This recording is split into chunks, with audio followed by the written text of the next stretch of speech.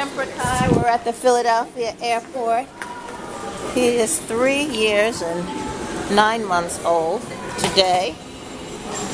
For his birthday, he is going to. Where are you going, Papa? You're at the airport. Where are we going? Orlando. Look at me. Are you excited to get on a plane again? I know you like planes. Pardon? Excuse me.